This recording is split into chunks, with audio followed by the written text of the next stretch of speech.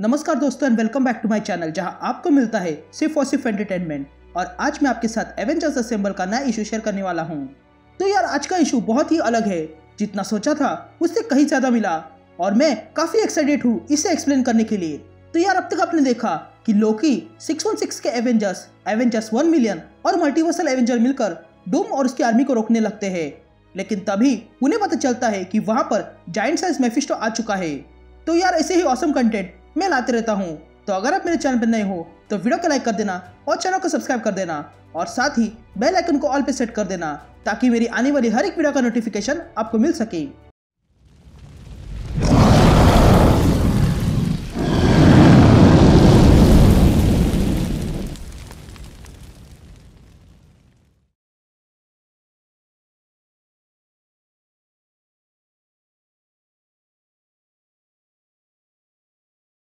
तो कहानी की शुरुआत में हम जाइंट मेफिस्टो की बैक स्टोरी देखते हैं, जो असल में 616 का मेफिस्टो है, और वो 616 पे है। और तब उसे वहाँ पर किड थानोस दिखाई देता है, जो पिछले एपिसोड में गायब हो चुका था। तभी किड थानोस मेफिस्टो से कहता है कि सच हमेशा कड़वा होता है, और सच ये है कि तुम्हारी मास्टर ऑफ़ इविल कुछ काम की नहीं है। घोस्ट कॉबलिन मर चुका है ब्लैक स्कल से उसका सिम्बियोट छीना जा चुका है, और किंग किलमोंगर आयरन फिस्ट के हाथों मर चुका है, और डार्क फिनिक्स और डूम, दोनों कहीं पर गायब है, जिस पर मैफिस्टो यंग थैनस से पूछता है कि तुम यहाँ क्या कर रहे हो, जिस पर थैनस कहता है कि मैं यहाँ नॉलेज लेने बैठा हूँ इन लाशों से। और तब हम मास्टर ऑफ़ इविल के मेंबर्स की लाशें देखते हैं, लेकिन तभी ब्लैक स्कल कुछ कहने लगता है।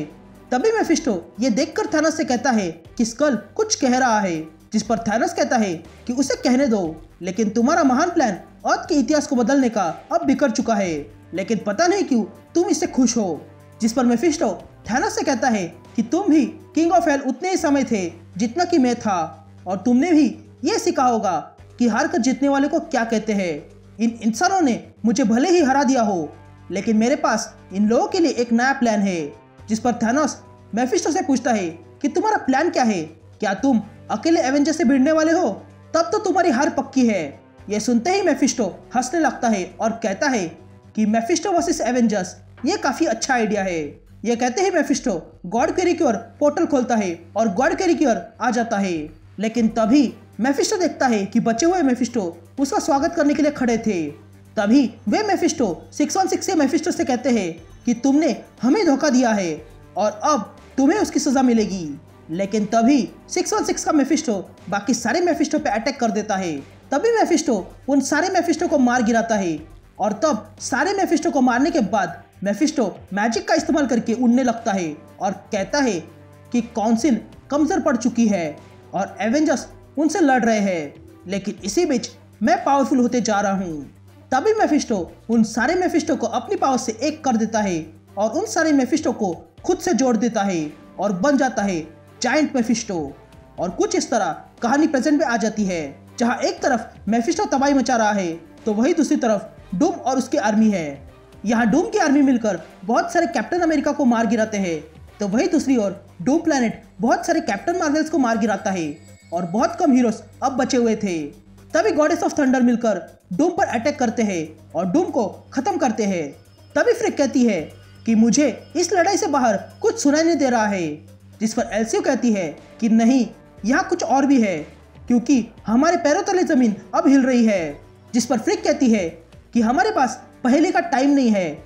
यहाँ बहुत सारे डूम्स है और एक डूम प्लेनेट भी है जो खत्म होने का नाम नहीं ले रहा है, जिस पर एल्सो कहती है कि अगर ऐसा है तो अब समय आ चुका है, जिस पर एटली पूछती है कि कौन सी चीज़ का समय आ चुका है, जिस पर एल्सियो कहती है कि अब समय आ चुका है कुछ ऐसा करने का, जिससे कि हमारे ग्रैंडफादर हम पर गर्व करे।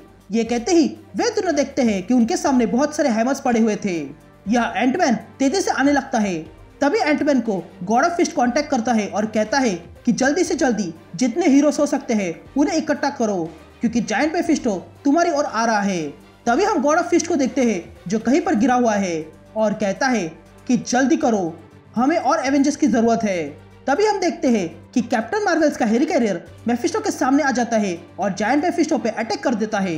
लेकिन मेफिस्टो एक ही बार में हेरी कैरियर के साथ साथ उसके अंदर के सारे कैप्टन मार्वल्स को मार गिराता है। यहाँ लोकी डोम के साथ लड़ने में बिज़ी था कि तभी एंटमैन लोकी को कांटेक्ट करता है और कहता है कि हमने अभी अभी कैरल कैरियर को खोया है, क्योंकि यहाँ पर सेरिस्टल के साइज़ का मेफिस्टो है और उसके साथ डोम प्लेनेट भी है, जो कई सारे एवेंजर्स को मार रहा है।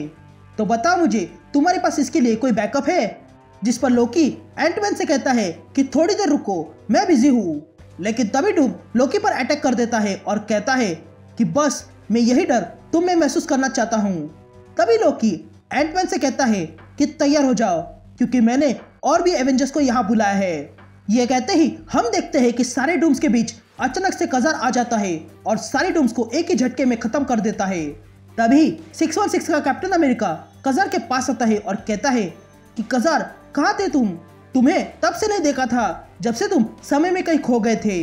जिस पर कजार कैप्टन से कहता है कि हाँ मैं कहीं खो गया था। लेकिन मैंने उस समय में कुछ दोस्त बनाए हैं और उनके साथ कुछ नई पावर्स मिली है। और वो है पावर कॉस्मिक ये कहते ही कजार एक डूम को जोरदार पंच मारता है और कहता है कि ये रहा मेरा नया दोस्त। ये कहते ही हम देखते हैं कि नया दोस्त कोई और नहीं, बल्कि गैलेक्टस है, जो भी यहाँ आ चुका है। तभी कजार कहता है कि यह है गैलेक्टस द वर्ल्ड ईटर और अब फ़िलहाल के लिए एक एवेंजर तभी गैलेक्टस कजार से कहता है कि हेराल्ड तुमने मुझसे वादा किया था कि तुम मुझे लाइफ टाइम का खाना दोगे। अगर मैं तुम्हारे साथ यहाँ आ गया तो तो मुझे वो खाना चाहिए, जिस पर कजार कहता है कि हाँ मैंने कहा था, और ये रहा तुम्हारा खाना। ये कहते ही कजार गैलेक्टस को डोम प्लेनेट दिखाता है, और अगले ही पल गैलेक्टस डोम प्लेनेट को खा जाता है। तभी कैप्टन अमेरिका को किसी की आवाज़ आती है, जो कहता है कि गैलेक्टस और कॉस्मिक कजार भी यहाँ आ चुके हैं। ये सुनते ही कैप्टन पूछता है कि ये कौन बोल रहा है? तभी हमें पता चलता है कि ये गोरिल्ला मैन बोल रहा था और उसके साथ अरसा मेजर भी है। तभी गोरिल्ला मैन कैप्टन से कहता है कि मैं अकेला नहीं हूँ, मेरे साथ मरा हुआ सेलिस्टल भी है, जो खुद को डेथ लॉक कहता है।